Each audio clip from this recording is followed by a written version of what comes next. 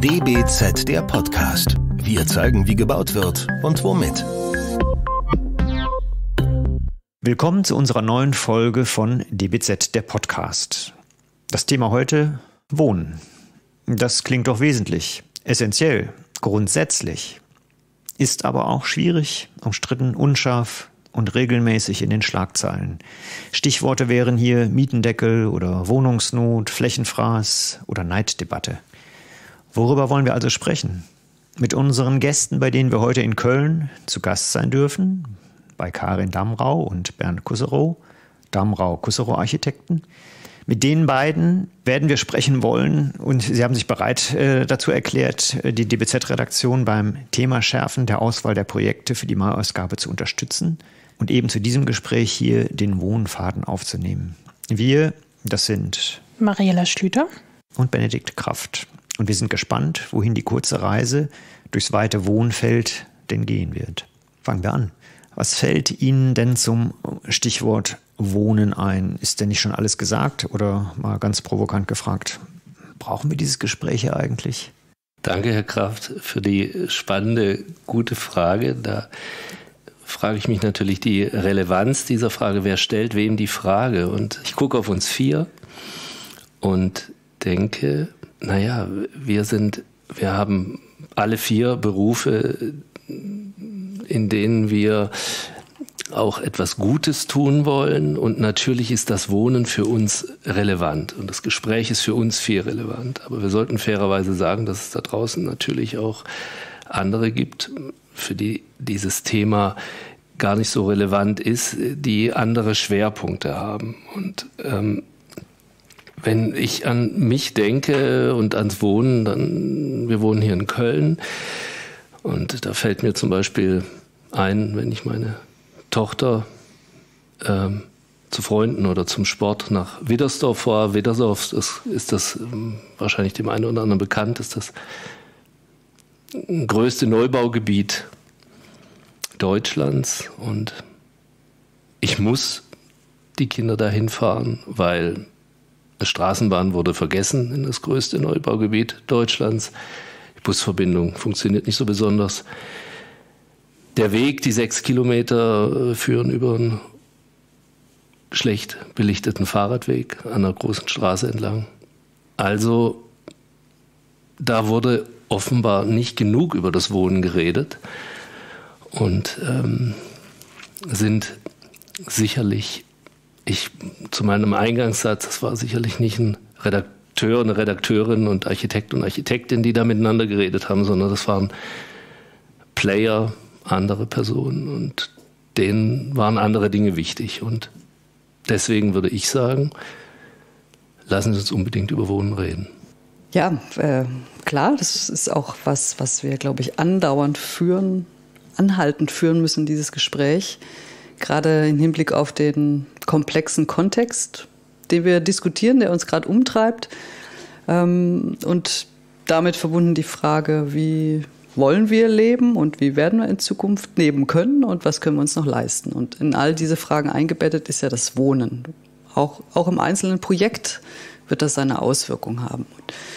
Ähm, die Themen Klimakrise, Mobilitätswende und so weiter und so weiter. Ähm, aber auch die, den demografischen Wandel betreffend und die Teilhabe aller in der Gesellschaft, die werden und sind ab jetzt und hätten auch schon früher irgendwie Themen sein sollen.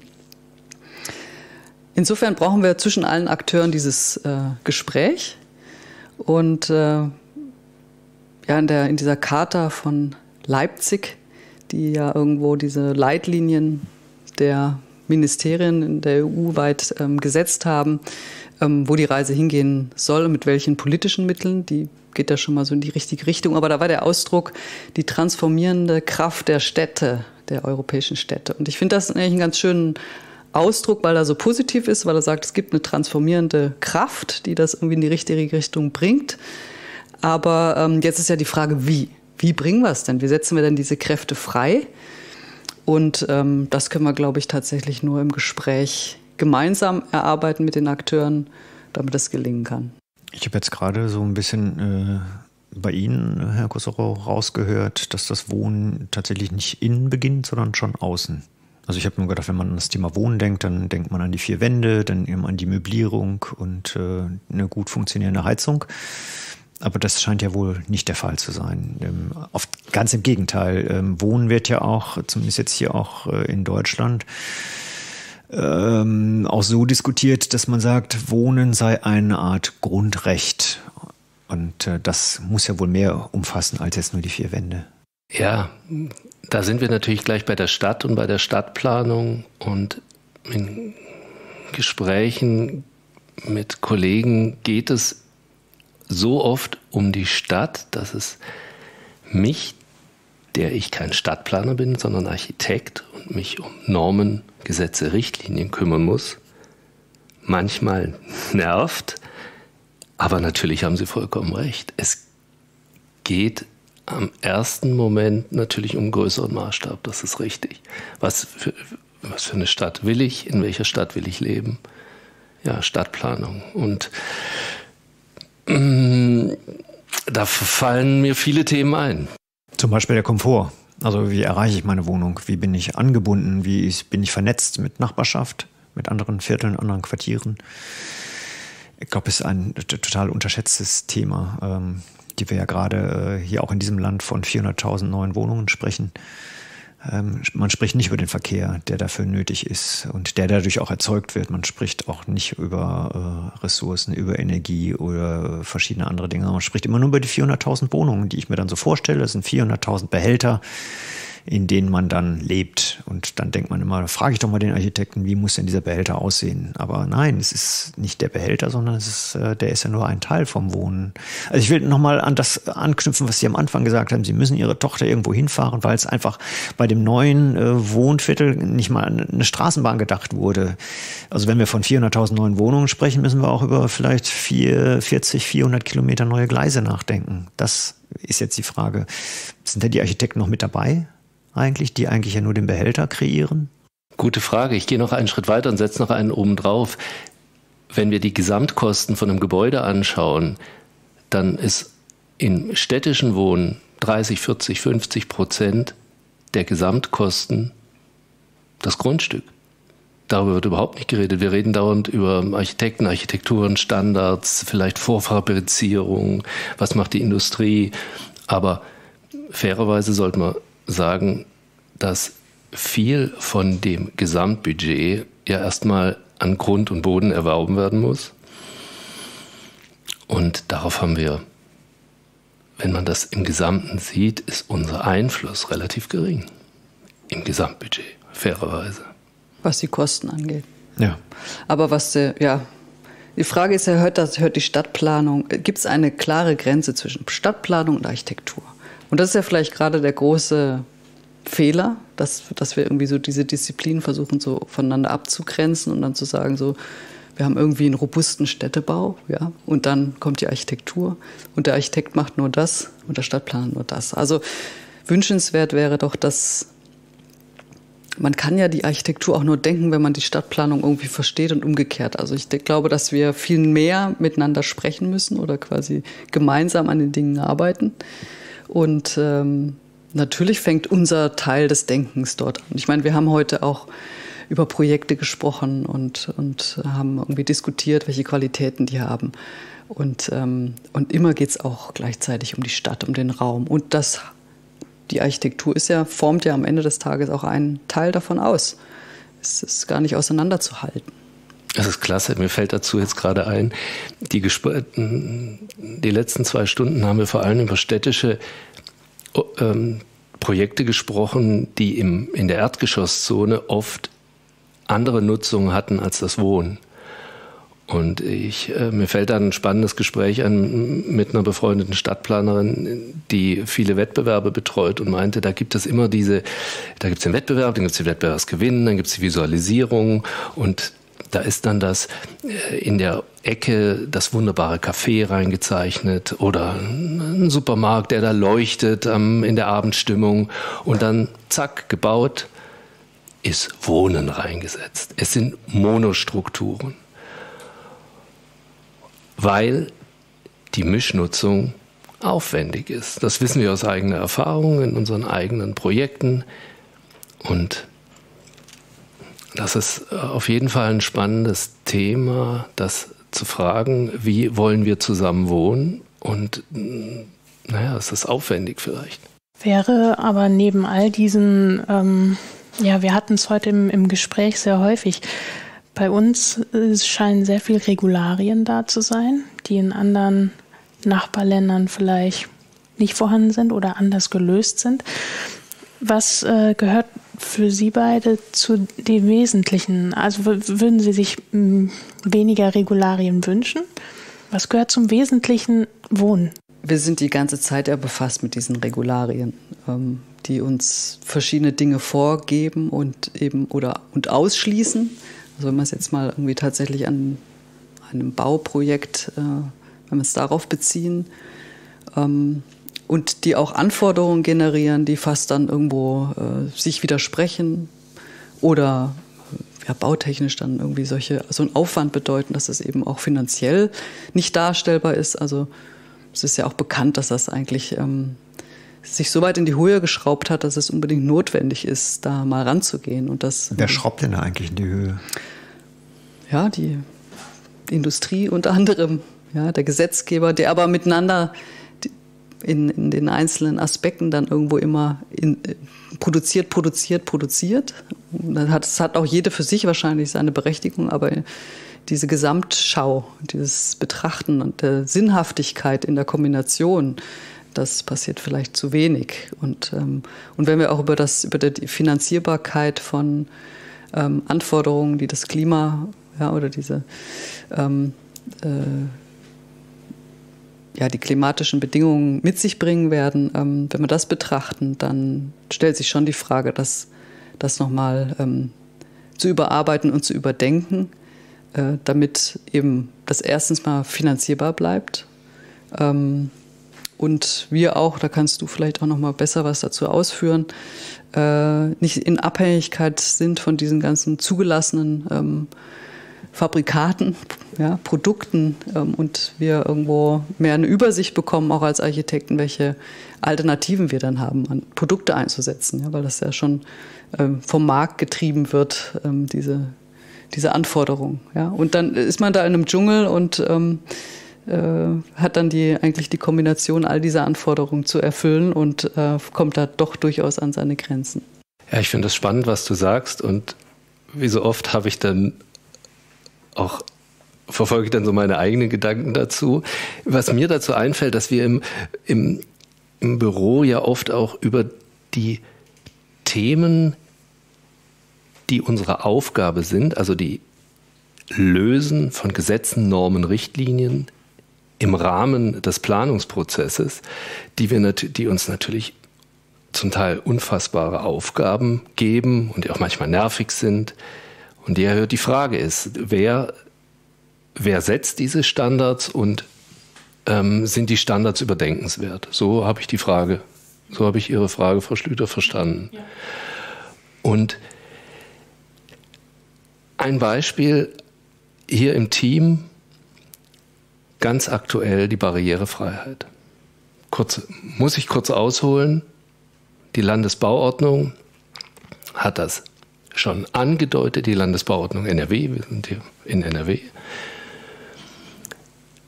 dass sich Dinge verändern werden hinsichtlich der Barrierefreiheit. Es gab eine erste Änderung, es gab eine zweite Änderung und letztes Jahr wurde die DIN zur Barrierefreiheit in einem sehr großen Maße in NRW eingeführt. Nicht vollständig, aber doch in großen Teilen.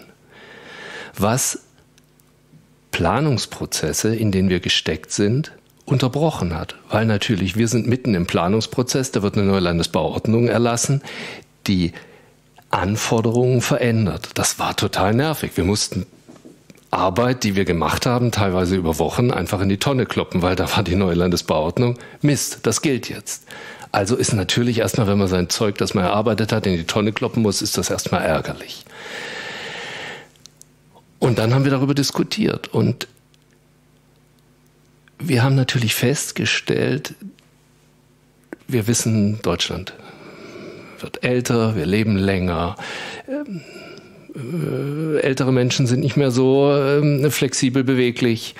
Also was ist denn da draußen gebaut? Da ist, nach dem Krieg wurde viel gebaut. Da sind keine Aufzüge drin. Da sind vielleicht äh, ein paar Stufen, um in das Haus überhaupt reinzukommen.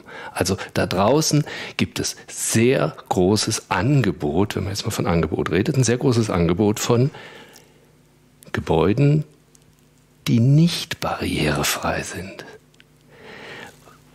Was die Politik gemacht hat, ist doch, sie fordert diejenigen, die am Bauen arbeiten, dazu auf, jetzt eine größere Masse an Projekten zu realisieren, die in einem hohen Maß barrierefrei sind.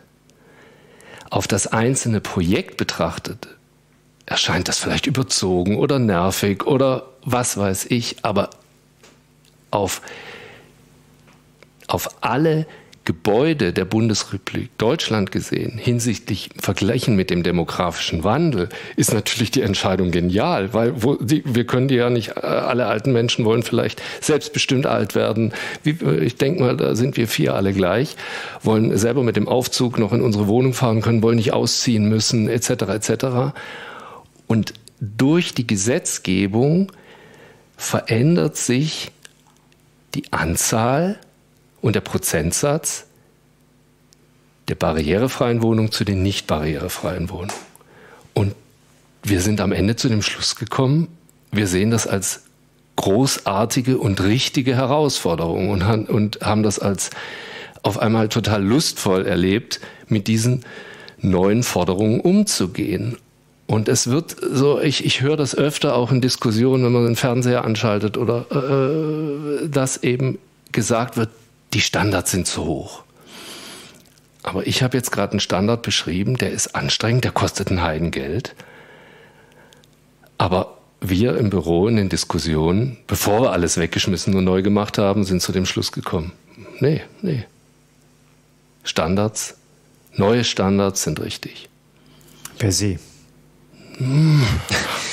Also ich meine, gerade die Architektenschaft klagt ja und ich würde auch mal sagen, mit Recht darüber, dass die Standards tatsächlich äh, Energiestandards beispielsweise ja immer höher gezogen werden. Und man fragt sich wirklich, also die NF ist ja lange tot, also es gibt da viele Nachfolgeregelungen, äh, sagen wir, unter Regularien, durch die mittlerweile auch kaum ja noch jemand durchsteigt, die aber sozusagen einen Standard produzieren, den wir vielleicht gar nicht brauchen. Und da wäre jetzt äh, für mich etwas, wo ich einmal nochmal äh, vielleicht in eine andere Richtung gehe, was aber auch das Thema Wohnen angeht.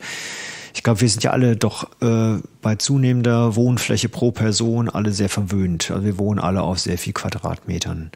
Und wir wohnen in sehr, äh, meist in sehr hochwertigen Wohnungen, die mit sehr viel Mühe und Aufwand gebaut wurden. Und äh, was das kostet, ist das eine, also rein ökonomisch, was das aber auch die Umwelt kostet und, und sozusagen nachfolgende Generationen an Altlasten, die dann da zurückgeblieben oder die da zurückbleiben werden äh, ist ja mal noch mal was ganz anderes. Und das wird ja in der Regel auch nie irgendwo eingepreist. Das kommt jetzt so langsam. Und da wäre für mich einfach mal die Frage, müssen Architekten nicht auch hin und wieder mal auf einen Neubau verzichten und einfach sagen, das mache ich nicht. Ich baue einfach in dem, was da ist. Ich baue nämlich im Bestand. Ich baue gar nichts mehr Neues.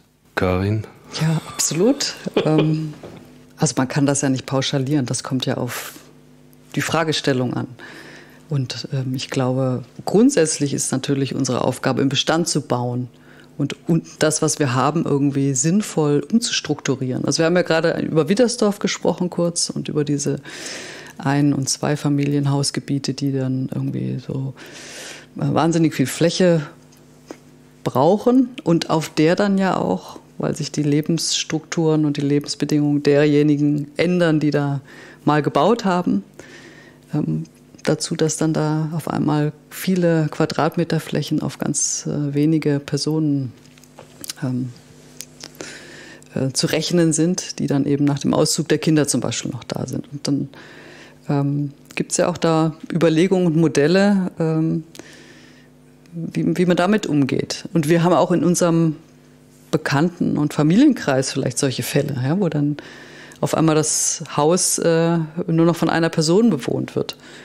Ähm, und das sind ja Potenziale, wo man, wo man sagen kann, das ist ein Umstrukturierungsprozess im besten Fall, wo man irgendwie auch gucken kann, ob nicht ähm, die bestehenden Wohnungen oder Häuser dann irgendwie von, von jüngeren Leuten be bewohnt werden und die älteren, wenn dann ein Angebot da wäre, ja, vielleicht auch lieber in der Gemeinschaft wohnen wollen. Also die Frage ist ja, ob wir nicht unsere ein- bis zwei Familienhausgebiete dann irgendwo auch so ähm, umdenken können, dass sie irgendwie auch Potenzial sind. Ich glaube, das ist auch sowas, was teilweise irgendwie vom Andreas Hofer mit angedacht ist äh, für, im Rahmen dieser IBA. Diese Überlegungen stehen ja an ähm, der Umstrukturierung des vielleicht als Architekt, das war ja die Frage Weiterdenkens. Irgendwie sind wir ja eigentlich darin geschult, äh, entwerferisch zu denken, quasi im, im, im Prozess zu denken und da neue, neue Wege mitzugestalten, auch wenn das jetzt vielleicht keine Bauaufgabe ist direkt, aber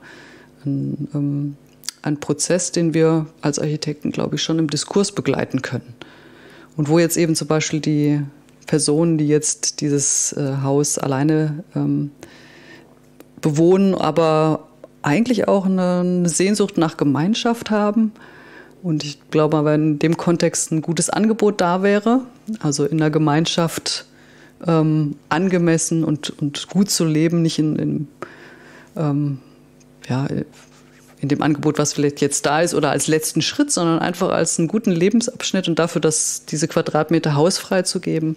Ich glaube, da gibt es ganz viel Potenzial, wo auch ähm, ja, neue Bilder auf, neue Bilder aufgebaut werden können, neue Perspektiven aufgebaut werden können, sodass wir mit dem Problem auch ähm, kreativ umgehen können und Lösungen finden.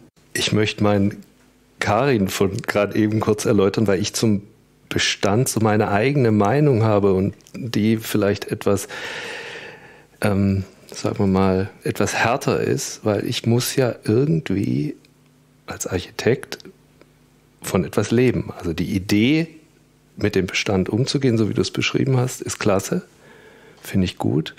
Aber was uns widerfährt als Architekten, wir sind Dienstleister, wir werden angefragt und wenn wir für den Neubau angefragt werden, dann ist der Neubau zu planen. Natürlich könnten wir versuchen, einem, es wäre zum Beispiel die Frage hier im Raum, Mensch, da gibt es so eine Entwicklung, da ist ein Bestand drauf und wir Architekten, wir werden zu dem Wettbewerb eingeladen, das ist eine Mehrfachbeauftragung und wir machen dann einen Vorschlag, nicht die Frage, also wir fahren dahin zu dem Ort, da steht noch alles voll und wir fahren wieder nach Hause, haben zwei Monate Zeit und beantworten nicht die Frage, die uns vom, Bau, vom potenziellen Bauherrn im Wettbewerbsverfahren gestellt wurde, sondern entwickeln den Bestand, der da ist.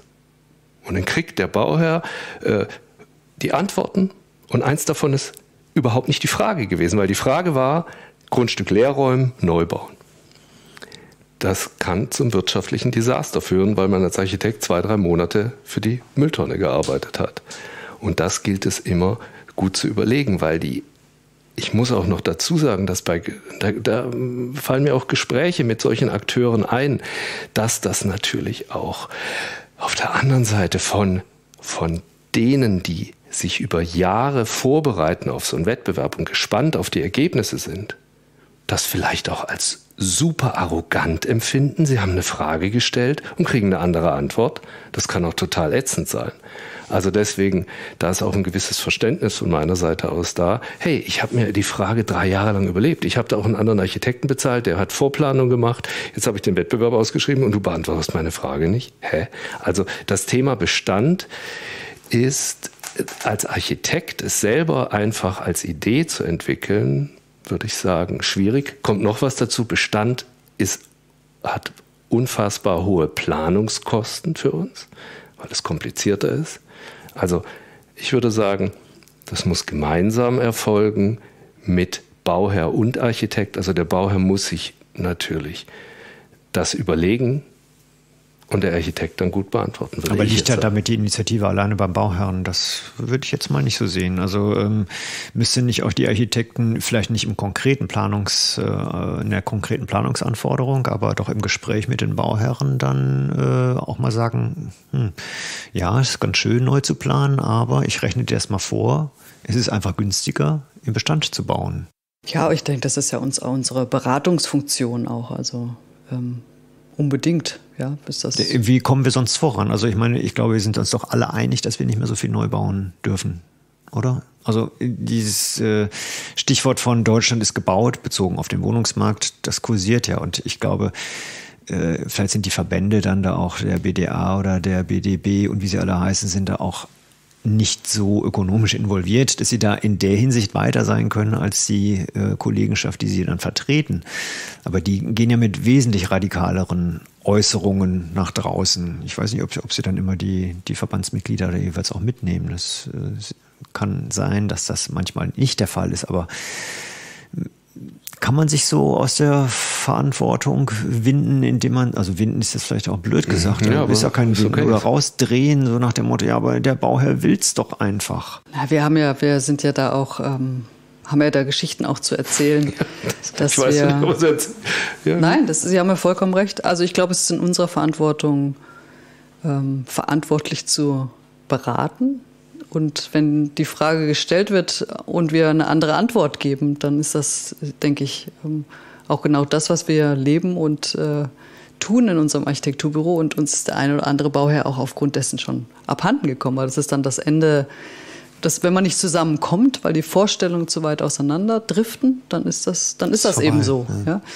ja. Ähm, das sehen wir schon so. Ich glaube, es äh, ist ein wichtiger Teil unseres Tuns, dass man das vertreten kann, was man, was wir vertreten können, was, ähm, was wir bauen, was wir umsetzen. Und umso mehr ähm, sich diese Situation jetzt irgendwo ähm, darstellt, wie sie es, wie es eben tut, also ist ja uns, steigt ja auch die Verantwortung weiter. Und ähm, ich kann mir auch vorstellen, dass die, die ähm, ja vielleicht auf dieser marktorientierten Seite vor allen Dingen stehen, auch zunehmend ähm, ja, das schon einmal hinterfragen, ähm, ob, ob, ob der Weg, den der gegangen wurde, auch der richtige ist. Also ich, da liest man immer wieder auch Sachen in der Süddeutschen Zeitung war. Ein Investor dargestellt, der jetzt in soziales Seniorenwohnen investiert, irgendwo im Allgäu, weil sich das auch einfach rechnet. Und vielleicht ist ja irgendwie die Welt nicht besteht nicht aus zwei äh, Seiten, sondern ich glaube, ähm, aufgrund der Situation wird sich das auch im besten Falle annähern und äh, werden diese Positionen auch ähm, ausgetauscht und, und geht das auch einen guten Weg. Ich verstehe den Eindruck, den meine äh, Sätze gemacht haben, so nach dem Motto, ja, wenn der Bauherr das nicht möchte, dann kann ich das nicht machen. Das kann ich äh, nachvollziehen. Und dann habe ich mich wohl möglicherweise auch ein bisschen missverständlich ausgedrückt. Ich ich versuche es nochmal ein bisschen anders. Unsere Gesellschaft entwickelt sich weiter und die Stadtgesellschaft, wir reden jetzt über das Wohnen im, im städtischen Kontext, hat, stellt Anforderungen, zum Beispiel an die Klimagerechtigkeit. Und die Anforderungen sind berechtigt. Ich habe ich hab vorhin gesagt, an dem Beispiel Barrierefreiheit, dass wir im Büro zu dem Schluss gekommen sind, die Anforderungen sind gerechtfertigt. Also gehen wir damit um. Und bestimmte Dinge gehen, dann muss man den muss man das Haus halt abreißen. Es geht nicht. Ich krieg den Aufzug da nicht rein. Ich bleibe jetzt bei meinem äh, vorigen Beispiel. Ich krieg den Aufzug nicht rein. Ich krieg die Treppe nicht breiter. Ich krieg in der Wohnung keinen Rollstuhl gedreht. Ich krieg's nicht hin. Ich krieg's nicht hin. Also muss ich's abreißen. Ich fange an. Ich mache weiter. Klimawandel. Ich habe KfW KfW hoffe ich, äh, Kreditanstalt für Wiederaufbau, die setzen die Standards in Deutschland. Ähm, derzeit liest man KfW 40, KfW 55 konnten wir vor zwei Wochen lesen, äh, wurde abgeschaltet, dann äh, ging es wieder weiter, Gott sei Dank. Das, weil Projekte von uns waren da auch mit in, in der Pipeline. Ähm, jetzt versuchen, wir könnten mal zusammen zu viert versuchen, ein KfW 40 so irgend so ein, so, ein, so ein Bestand mit zwei Dingen zu nur zwei Dinge. Den KfW-Stand 40 plus weil wir, plus die Barrierefreiheit, weil wir nämlich an dem Bestand ein bisschen rumdoktoren und weil werden wir als Architekten an einem Bestand über ein bestimmtes Maß arbeiten, zieht plötzlich die Landesbauordnung. Weil die Stadt sagt, die, Baube, die genehmigende, zu genehmigende Baubehörde guckt sich das an und sagt, ja, ihr habt ja da viel verändert, also wird es, äh, wird das geprüft. Mit diesen zwei Vorgaben irgendeinen halblebigen Altbau zu bearbeiten, da kommt man dann oft zu dem Punkt, lass uns das Zeug abreißen und neu bauen. Genau, und das ist ja nur die Frage der Standards, über die wir am Anfang gesprochen haben. Ne? Also wenn wir die Standards weiter runterschrauben würden und wir würden sagen, okay, lieber Sehr Mieter, gut. du lebst jetzt in einem Gebäude, äh, wo du einen dicken Pullover tragen musst und äh, wo vielleicht äh, die Wände nicht ganz so gerade sind oder wo verschiedene andere Dinge den Wohnkomfort heutiger Standards weit unterschreiten, dann Wunderbar. Äh, kannst du da gerne wohnen für günstig. Nur Willst du mehr, dann musst du halt mehr zahlen. Dann ziehst du in ein anderes Gebäude. Nur da denke ich jetzt, äh, wir machen einen Podcast, der wird öffentlich sein. Und sag ich jetzt dazu Dinge, wo ich jemand ausschließe? Ich schließe jemand aus. Ich schließe, wir haben zwei, zwei Beispiele. Sie nehmen den Pullover, ich nehme den Rollstuhl dazu. Weil das ist, äh, ich nehme das dauernd, weil uns das gerade die letzten zwei Monate massiv beschäftigt hat. Beide Themen. Der Pullover und der Rollstuhl.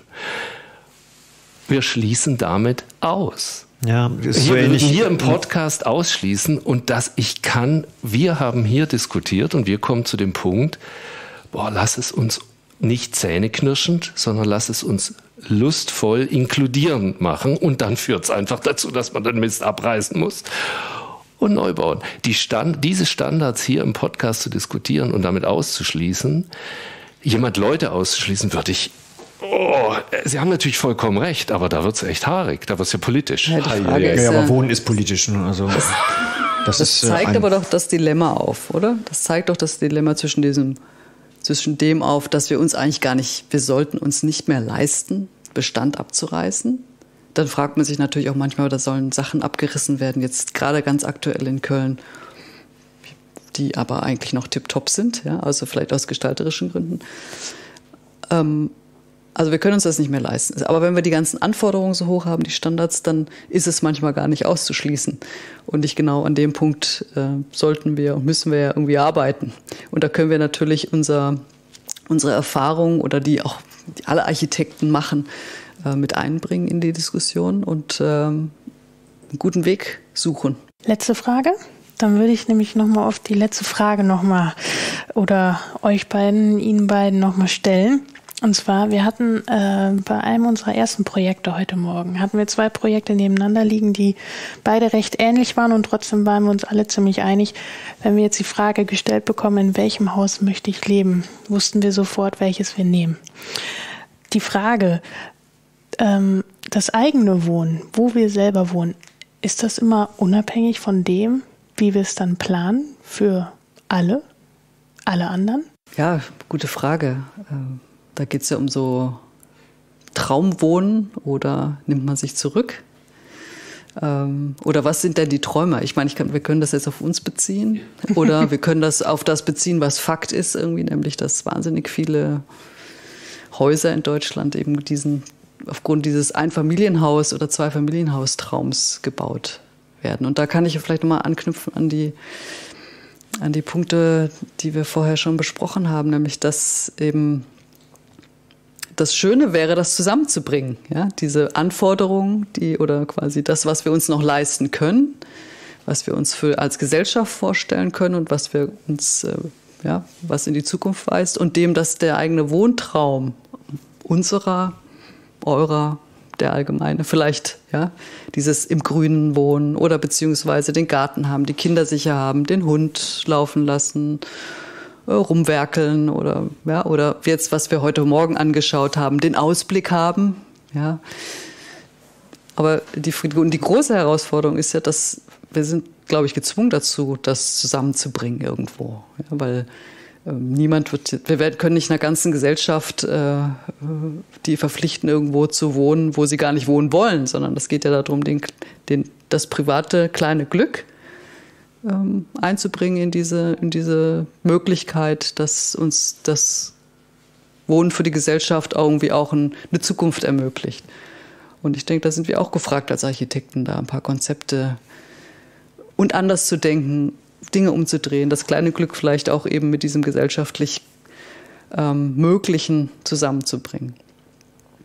Stichwort, wie kann man denn dieses, ja, diese Qualitäten irgendwo verdichten, zusammendenken im städtischen Kontext, äh, sodass wir weder jetzt irgendwie alle quasi einen Turm in der Landschaft brauchen mit 360 Grad Blick, noch wahnsinnig viel Fläche und trotzdem diese Qualitäten haben. Und ich meine schon, dass das zusammenpassen kann und dass wir auch einen Teil dieser neuen Erzählung produzieren können. Ja, durch Projekte, Gedanken. Ich finde die Frage super, weil Sie, Frau Schlüter, Sie haben mich ertappt. Weil Karin und ich wohnen in einem Altbau mit schlechter Substanz. Also Sie, ich rede, Sie, Sie brechen die Frage runter auf das Persönliche. So habe ich Sie verstanden, richtig? Ja, zum Schluss noch einmal persönlich. Jetzt werden wir mal persönlich. Und ich rede den ganzen Podcast natürlich als Architekt, der seinen Beruf ausübt und was er, mit was er konfrontiert ist. Und ich habe auch schon, ich verstehe natürlich unsere Bauherren und teile diese Haltung auch. Ich lebe ja auch davon. Aber wir wohnen in so einem so einer super schlechten Altbausubstanz, die ist in den ähm, 1956 hochgezogen worden für die belgischen Streitkräfte, weil die auf die Deutschen damals aufgepasst haben hier in Köln. Und, ähm, und da sind ähm, äh, acht Reihenhäuser nebeneinander gestellt und das, die Decken sind durchbetoniert. Und wir hören, und, und die Wände sind dünne Bimssteinchen. Also wir könnten jetzt nach Hause gehen zu uns zu viert und wir könnten mit unseren Nachbarn reden. Wir müssen ein bisschen lauter reden, aber wir verstehen voneinander jedes Wort. Wenn es mal lauter zugeht, wird es auch lauter. man, man reißt sich dann auch mal schon zusammen. Es ist der Hammer. Wenn, ähm, und diese Substanz, in der wohnen wir. Nur das jetzt, und das ist ja Ihre Frage die ganze Zeit gewesen. Also ich privat nehme wahnsinnige Dinge in Kauf, die da draußen, wo mich jeder, ich sag's einfach, mich, mich wird jeder verklagen. Wenn ich so bauen würde, also Neubau, da gibt äh, äh, Neubau sowieso, da reden wir gar nicht drüber im Altbau. Jemand hat was erworben für teuer Geld, gibt uns das als Architekturbüro und wir setzen das so um, so wie wir privat wohnen in diesem durchbetonierten Ding. Da würden wir aber auch im Bestand. Aber das ist so ein schönes Beispiel, dass man, wenn man, ich, und das ist vielleicht das, was damit einhergeht mit der Altbausubstanz, ähm, dass, dass die Standards vielleicht auch ein bisschen überdenkenswert sind. Ja, wo wollen wir hin? Man kann in der Gemeinschaft schon so leben, dass man sich hören kann. Ähm, und dieses immer nach oben schrauben ist, glaube ich, auch nicht zukunftsfähig. Also Absolut nicht. Und da würde mich natürlich, aber vielleicht geht es uns auch nichts an, äh, interessieren, warum wohnen Sie denn in so einem beschissenen Altbau? Die ich bin dafür, zwei Standards zu machen. Ich bin, ich, ich sage, wir, wenn wir vier jetzt heute die Politik beeinflussen könnten, bin ich dafür, wir, also wir würden jetzt diskutieren und würden heute Abend ein neues Gesetz schreiben, würde ich zwei Landesbauordnungen schreiben. Ich eine? eine, eine für den Neubau, die hat all das. Ich bin ja Fan davon. Ich stehe da auch dazu, was ich die letzte halbe Stunde geredet Das ist, der Gedanke ist mir gerade eben gekommen. Und wir schreiben, wir vier schreiben eine zweite zusammen für den Bestand. Und der Bestand hat einfach all das, was ich gesagt habe, nicht weil der arme Bestand, der hat das nicht verdient, was da draußen abgeht. Der, der muss abgespeckt werden, da wird halt weniger gemacht. Da wird mit dem wenigen, was gemacht wird, kann ich aber unfassbar viel erreichen. Ich mache den ein bisschen besser, stecke da ein bisschen Geld rein, verdoppel aber die Verbesserung, einfach weil das ja so schlecht ist. Und dann höre ich halt alles. Aber dafür habe ich zum Beispiel ein bisschen gedämmt. Aber habe auch nicht wahnsinnig gedämmt, weil wenn ich zu viel, dann muss ich es abreißen. Ähm, und so weiter. Ich würde zwei Landesbauordnungen machen. Das ist meine Antwort. Jetzt haben Sie aber immer noch nicht darauf geantwortet, warum Sie in diesem Gebäude wohnen. Das soll meine Frau machen. Sie müssen es nicht sagen, aber es würde mich jetzt schon interessieren. Ja, das ist, was, was äh, reizt denn dann? Ist es der Garten? Ist es äh, die tolle Umgebung? Oder war es ein Zufall? Und Sie haben es ja, nicht es war, geahnt. ein, es war tatsächlich eigentlich ein Zufall. Die, ähm, die Bundesrepublik hat ja den Bestand an Familien ähm, verkauft. Es war ein Bieterverfahren und ähm, zu Preisen damals, da haben wir einfach mal mitgeboten. Also das Ja. war unser erstes Gebot und wir haben einen Zuschlag bekommen. Und zu Preisen, da bekommen Sie heute in Köln nicht mal mehr eine Einzimmerwohnung dafür. Und und das Ganze war natürlich auch so ein bisschen runtergerockt. Also man brauchte, Ein bisschen ist gut. man brauchte Fantasie. Aber das wäre doch, äh, das wäre ist doch genau der. Punkt. Zweite Landesbauordnung, wie auch Das immer. Das kann man auch in eine reinpacken. Das ist halt ein Unterkapitel.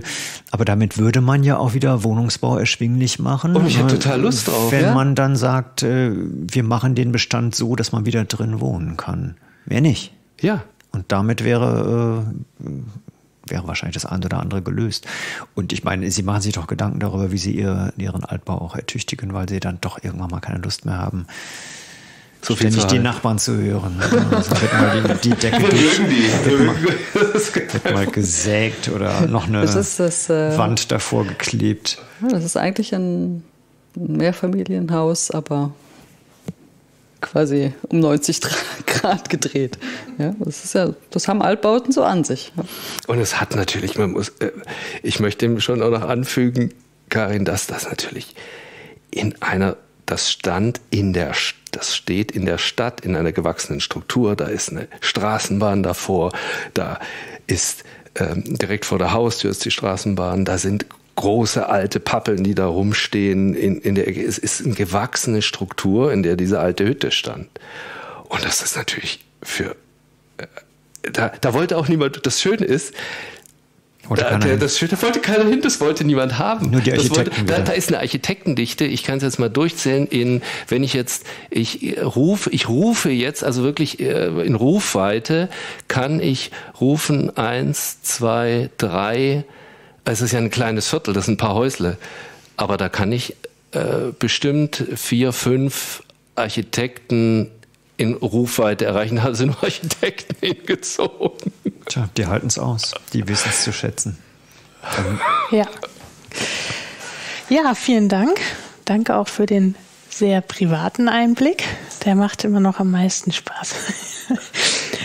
ähm, vielen Dank auch für den, äh, ja genau, für den ganzen Vormittag auch. Das war wirklich äh, auch tolle Gespräche. Manchmal würde man gerne die ganzen Stunden aufnehmen, ähm, weil wirklich, wirklich, also tolle Themen auch mit dabei waren. Und ja, vielen Dank. ja, vielen Dank auch unsererseits. Hat Spaß gemacht. Danke, Frau Schlüter, danke, Herr Kraft. War ein toller Tag mit Ihnen. Sehr gerne. Das war der DBZ-Podcast. Wir zeigen, wie gebaut wird und womit. Entwickelt wird der Podcast von der gesamten DBZ-Redaktion. Wenn ihr unsere Arbeit unterstützen möchtet, könnt ihr das am besten, indem ihr unser DBZ-Magazin abonniert und unserem Podcast 5 Sterne verleiht. Der DBZ-Podcast wird von unserem Tonmeister Lynn Meisenberg abgemischt. Mehr Informationen und alle Podcasts gibt es auf dbz.de.